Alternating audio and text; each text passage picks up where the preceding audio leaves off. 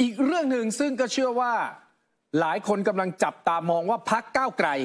กำลังจะนำไปตีกินค่ะหาเสียงกับกลุ่มเป้าหมายของตัวเองหรือเปล่า นั่นก็คือกรณีที่เมื่อวานนี้ที่ประชุมสภาผู้แทนราษฎรสภาผู้แทนราษฎรมีมติ ไม่รับหลักการร่างพระราชบัญญัติคุ้มครองแรงงาน ฉบับที่เสนอโดยนายเสียจำปาทองครับบอกก่อนนะครับอ่าฉบับนี้เสนอโดยนายเสียจำปาทองสสบัญชีรายชื่อ พรรคก้าวไกล เมื่อวานนี้เราเอามาแซวกันแล้วที่พี่สถาพรอธิบายครับว่าเพจวันนี้ก้าวไกลโกหกอะไรบอกว่าโอ้โหพอพรบตัวเองไม่ผ่านหาว่าโอ้โหเอื้อนายทงนายทุนอ่าก็ไอ้นายทุนบริษัทอะไรชื่อไทยซัมซัมซัมอะไรนั่นน่ะค่ะอืมรับคนงานยัง 363 บาทต่อวันเลยเออครับเบี้ยขยันอีกเท่าไหร่อะไรอย่างนี้ คุณธนกรวังบุญคงชนะ สสบัญชีรายชื่อและรองหัวหน้าพรรครวมไทยสร้างชาติ ก็ออกมาพูดเรื่องนี้เช่นกันบอกว่า สสก้าวไกลคุณออกมาแถลงข่าวตำหนิสสรัฐบาลว่า เห็นแต่ในายทุน เห็นแก่ในายคุณเห็นแก่ในายทุนไม่ยอมผ่านวาระรับหลักการร่างของนายเสีย คุณธนากรบอก เฮ้ยสสเนี่ยจะออกกฎหมายทุกฉบับเนี่ยต้องพิจารณาอย่างครบถ้วนรอบคอบ ขณะเดียวกัน ทั้งคุณธนากรและสสเสียงข้างมากเนี่ยนะลงมติเห็นชอบในร่างหลักการพรบคุ้มครองแรงงานสองฉบับครับ ฉบับแรกของนายวรสิทธิ์เลียงประสิทธิ์ สสสตูลจากพักภูมิใจไทย และอีกฉบับเป็นของนางสาววันวิภาไม้สน สสบัญชีรายชื่อพักก้าวไกลครับ คือเขาไม่ได้ตกของนายเซียแล้วไปไม่รับของก้าวไกลครับเขารับของคุณวันวิภาด้วย คุณธนากรเลยบอกว่าทำไมนายเซียและพรรคก้าวไกลยังมาออกข่าวแถลงตำหนิโจมตีสสรัฐบาลอยู่ มองได้แค่ว่าเป็นการจ้องเล่นแง่สร้างดราม่าหวังผลการเมืองอย่างเดียว ไม่สนใจเนื้อหารายละเอียด ไม่เห็นความสำคัญของผู้ประกอบการรายย่อยรายเล็กว่า จะแบกต้นทุนต้นทุนการผลิตได้หรือไม่ แบบนี้ใช้ไม่ได้ จะเสนอกฎหมายใดก็ควรทำให้ระบบเศรษฐกิจของประเทศเกิดความสมดุล ไม่สุดโต่งจนเกินภัยให้มีความสมเหตุสมผลอยู่ได้ทั้ง SME ผู้ประกอบการรายย่อยนายจ้าง ถ้าผู้ประกอบการเหล่านี้ปิดกิจการลงเพราะแบกต้นทุนไม่ไหวสุดท้าย ผลกระทบก็มาถึงผู้ใช้แรงงานและลูกจ้างที่จะถูกเลิกจ้างตามมา ก็เป็นจึงเป็นเหตุผลที่สสรัฐบาล เห็นด้วยกับร่างคุ้มครองแรงงานของภูมิใจไทย ที่มุ่งจะสร้างระบบนิเวศเศรษฐกิจสมดุลทั้งนายจ้างและลูกจ้างอืมนะฮะในประเด็นเรื่องของไอ้นะพรบแรงงานร่างของก้าวไกลดูเหมือนจะเป็นปัญหา ที่ก้าวไกลตั้งมาเป็นวาทะเกิดขึ้นก็คุณธนากรบอกเลยนี่มันลักษณะงามมาขยายผลตีกินทางการเมืองนี่ใช่คือมันไม่ได้เป็นปัญหากับคนอื่น เป็นปัญหากับพวกเขาน่ะมันเป็นปัญหากับพวกเขา คือเขาต้องการให้เป็นแบบนี้อยู่แล้วหรือไม่ค่ะนะฮะ ต้องการนะเอาพอรัฐบาลไม่รับก็เอามา เอานี่ไง รัฐบาลไม่รับ รัฐบาลเอื้อนายทุนอืมก็เอาประเด็นนี้แหละ มาตีกินทางการเมืองมาถูหากเสียงต่อค่ะทั้งที่พักตัวเองเสนอสองฉบับครับ คือมันมีแต่ได้กับได้อ่าเผลอๆอะใจเจตนาไปอยู่ที่ฉบับวันวิพาด้วยซ้ถูกำต้องไอฉบับตัวตัวตัวตัวที่ถูกตกเนี่ยอืมอาจจะรู้อยู่แล้วว่าสุดโต่งค่ะตกแน่ ๆ แต่หวังอย่างนี้ไงอืมต้องการแบบนี้เลยที่สร้างประเด็นออสร้างกระแสขึ้นมาเออจุดประเด็นขึ้นมานะคะไปดู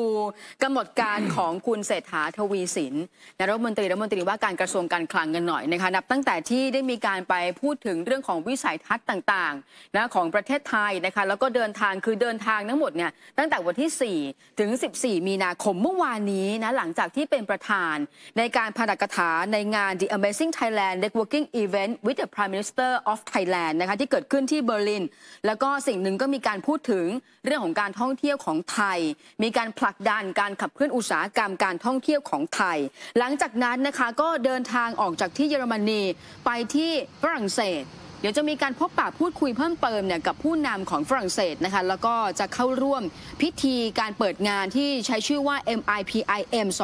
2024 เป็นงานมหกรรมอสังหาริมทรัพย์ที่ใหญ่ที่สุดในโลก ที่เมืองคานฝรั่งเศส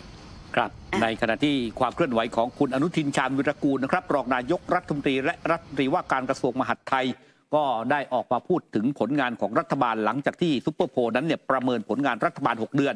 โดยผลโพลระบุว่าคุณอนุทิน คุณอนุทินเนี่ยมีผลงานที่ประชาชนรับรู้ และก็พอใจเรื่องการแก้ปัญหานี้นอกระบบเนี่ยเป็นอันดับสองบอกว่าก็ขอบคุณพี่น้องประชาชนเป็นอย่างมาก ความจริงเนี่ยรัฐมนตรีทุกท่านก็ผลงานดี อย่างเช่นพลตำรวจเอกเพิ่มพูนชิดชอบ รัฐมนตรีว่าการกระทรวงศึกษาธิการ ก็มีผลงานเยอะแต่ไม่ค่อยพูด ดังนั้นต้องให้ท่านสัมภาษณ์เยอะๆหน่อยว่าทำอะไรให้กับเด็กๆไว้บ้าง ส่วนเรื่องการแก้ปัญหานี้นอกระบบที่ล่าสุดยังมีข่าวลูกหนี้คิดสั้นฆ่าตัวตายเพราะเคลียร์ปัญหาข้อมูลการเป็นหนี้นอกระบบไม่จบ คุณอนุทินระบุว่าในยุคที่ข้อมูลข่าวสารรวดเร็วไปรับฟังข่าวสารในชั้นแรกก่อน ก็จะไม่ได้ข้อมูลเยอะ ยืนยันว่าเรื่องนี้มีเจ้าหน้าที่ดูแลอยู่แล้วค่ะนะครับอืมพอพูดแบบนี้เนี่ยล่าสุดนั้นคุณคารมพลพรกลางโฆษกประจำสำนักนายกรัฐมนตรีก็เปิดเผยถึงเรื่องของหนี้นะครับ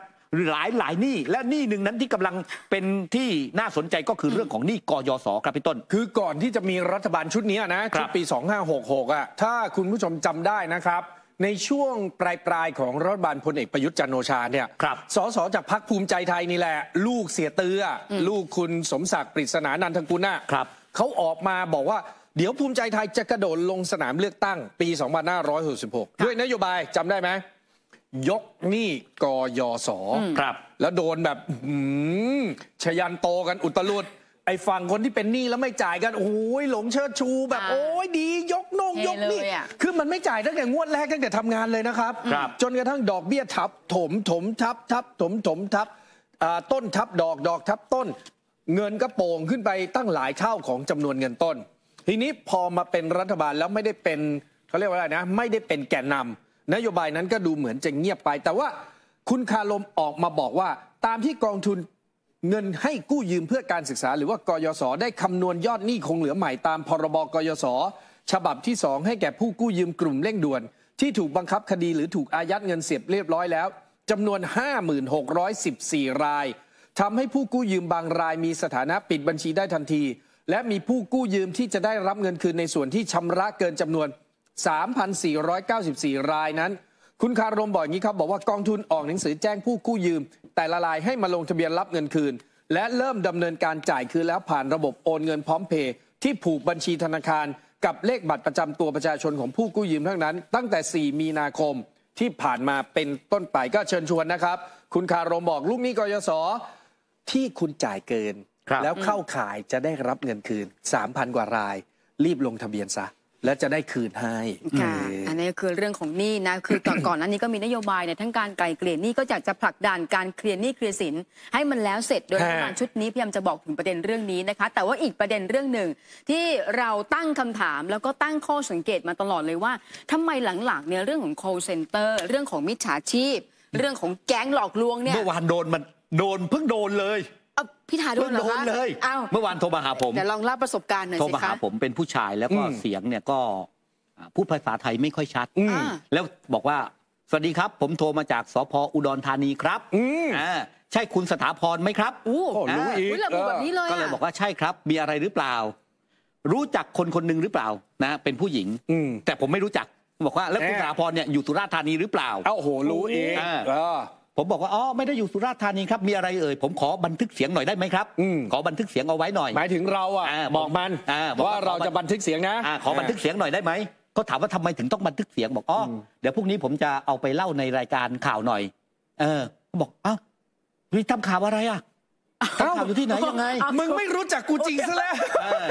ทำข่าวอยู่ที่ไหนอย่างไรรายการอะไรอ่าเออแล้วก็เริ่มที่จะพูดไม่พูดไม่พูดไทยแล้วทีนี้อ๋อพูดเป็นภาษาเขมรแล้ว เริ่มพูดเป็นภาษาเขมรก็รวยบรวยปรมไม่ปรู้รมอะไรอย่างเงี้ยนะเสร็จแล้วเออผมก็หัวเราะพอผมหัวเราะมันก็บอกว่า ผมไม่ติดข่าว แต่ผมติด ผมติดจุดจุดจุดจุดเป็นอวัยวะของผู้หญิงอะโถแล้วมันก็รีบวางสายไปเลย อ๋อเหรอเออคือพอเรายั่วปุ๊บเนี่ยอืมมันก็เริ่มมีอารมณ์อ่าใช่ใช่แล้วมันก็โมโหนะฮะ มาร่วมสนับสนุนท็อปนิวส์นำเสนอความจริงได้แล้ววันนี้